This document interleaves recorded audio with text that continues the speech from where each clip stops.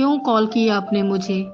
माहा ने सहमे हुए लहजे में कहा, कुछ नहीं, आपके घर में जो किस्से चल रहे हैं, मुझे सब पता है।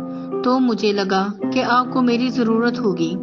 इसलिए, और देखिए, आपको सच में मेरी ज़रूरत थी। मोबाइल से आती आवाज़ में खुशी और शरारत वासिया थी। मुझे भाभी बुला रही हैं। माहा ने गुमसुम लहजे में कहा, ठीक है, आप जाएँ, मगर आपको मेरी वजह से परेशान होने की ज़रूरत नहीं। इस बार आवाज़ में संजीदगी थी।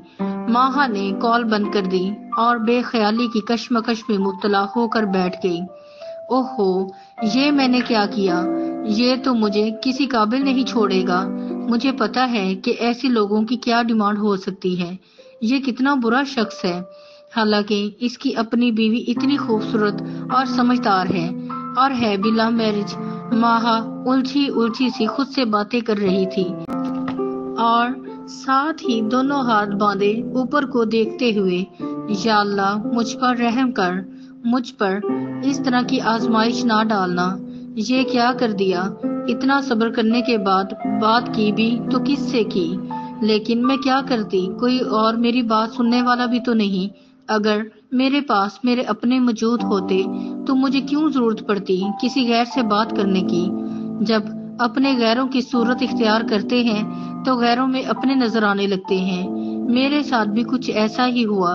अपनों के दिए हुए जख्मों पे मरहम रखने के लिए गैरों से उम्मीद रख ली, जिसे अपनों के बगैर होने की गलती की सजा मिल रही है। अच्छा अल्लाह बेहतर करने वाला है। माहा ने ऊपर नज़रें उठाते हुए कहा, इतने में मोबाइल पर फिर एसएमएस की बेल हुई। तो माहा ने हाथ बढ़ाकर मोबाइल उठाया।